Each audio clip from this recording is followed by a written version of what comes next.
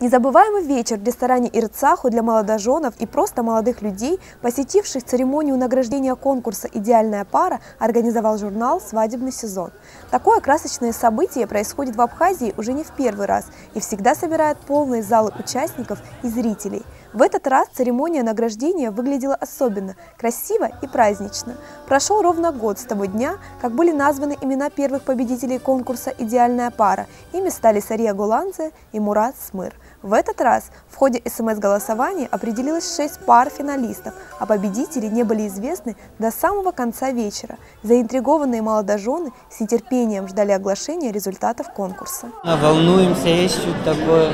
Родственники, естественно, видят то, что идет конкурс, они голосуют, звонят нам, друзья, знакомые, стараются проголосовать. Тем временем, чтобы развлечь пары и затянуть интригу, проходили различные увеселительные конкурсы и состязания. Собравшихся развлекал своим творчеством певец Автоканджария. После его выступления неожиданно для гостей в зале появились очаровательные девушки в невероятно красивых платьях от дизайнера Фатимы Хатшуковой. Коллекция одежды под названием «Редкие цветы» впервые была представлена на этом вечере. Коллекция называется «Редкие цветы». Я вдохновлялась э, исключительно цветами, их, э, их разновидностью, их красотою. я думаю, что каждой девушке в Абхазии будущей выпускнице будет приятно надеть любое из этих платьев, и я буду очень рада этому.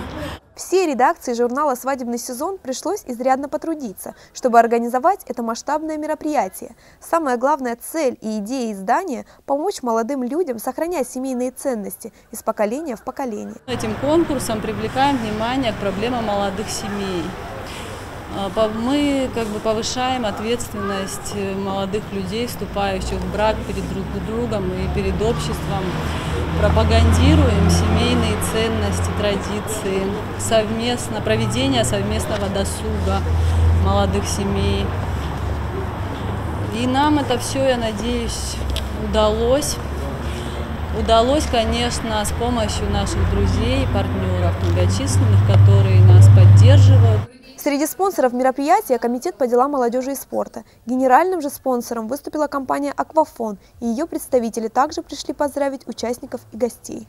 Компания «Аквафон», конечно, очень приятно быть рядом с таким э, молодежным проектом, но вот главное, что несет вот за таким, наверное, э, светским и отчасти таким гламурным фасадом, главные ценности, главные семейные ценности – это взаимопонимание и взаимоуважение.